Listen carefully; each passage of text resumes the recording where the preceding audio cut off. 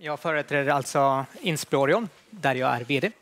Vi är ett bolag som kommer från Göteborg. Efter ungefär tio års forskning på Chalmers så bolagiserades vi och har Jag är väl en av dem som faktiskt inte är här för att be om pengar, utan vi gjorde vår nyemission nu i höstas och det gick bra. Så jag är lite här för att berätta för er som var med och eh, för ni som missade att vara med hur det går och så att ni är med på nästa chans helt enkelt. Och det som är vår kärna, core, det är att vi har en mätteknik som tagits fram på Chalmers. Den har nu patentet har blivit godkänt både i Japan och i Kina och är i slutfasen i ansökningsprocessen i USA och Europa.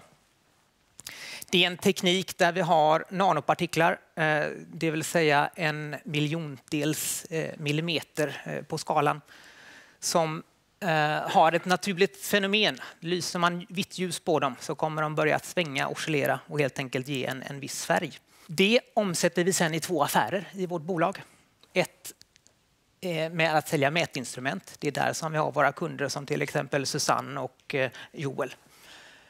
Men sen precis samma teknik håller vi också på att utveckla för mycket mer tillämpade applikationer. Så med det så har vi eh, tagit och dragit igång två stycken projekt som jag ska nämna lite mer om. Ett som riktar sig till luftkvalitet. Att helt enkelt utveckla en effektivare luftkvalitetssensor än vad som finns på marknaden. Och ett inom batterisensorer. Vår luftkvalitetssensorprojekt. Anledningen är det här ju mer urbana vi blir, ju mer som flyttar in till städerna, desto tuffare luftkvalitet har vi. Eh, så det man vill ha är eh, ett realtidsgrid där man på många fler ställen eh, kan mäta i realtid, få upp i molnet och ladda ner igen. Och det är där som vi också såg att, att, att vår teknik passade väldigt bra. Vårt andra projekt är riktat mot batterisensor. Vi måste miniatyrisera eh, våra batterier. Vi har slimmat allting i våra lastbilar, men batterierna är jättestora. Kan inte mäta i dem så att vi på det sättet kan styra dem bättre och få dem mindre och effektivare. Och det, eh, då fick vi gå tillbaka och titta på, ja men där, vår sensor är robust, den är liten, den borde kunna funka i en batterimiljö. Med det, de resultaten i vår hand så blev vi uppvaktade av ett större amerikanskt multinationellt bolag som sa att det här ser spännande ut. Eh, vi vill gärna att ni gasar på lite mer. Ehm, så de finansierar upp ett samarbete som vi nu driver med AGM som är en liten brittisk eh, batteritillverkare just för att ta fram de första kommersiella prototyperna med vår sensor i, i, ett, eh, i ett kommersiellt batteri. Vi är som sagt på Aktietorget, har varit där sedan eh, sommaren 05, eller 15. Eh, tog in lite pengar i höstas Eh, och idag uppdaterar jag med hur det går för oss. Eh, det var bra fart efter vår, och under vår nya emission. Det var då vi började prata lite mer om oss och fler som fick syn på oss. Så det har varit en kul resa så här långt. Så sammanfattningsvis så är vi ett bolag som har en unik teknikplattform som vi tagit patent på och vi känner oss trygga med. Vi har en första affär där vi rullar med vår, eh, vårt mätinstrument och där vi eh, får mer och mer utväxling.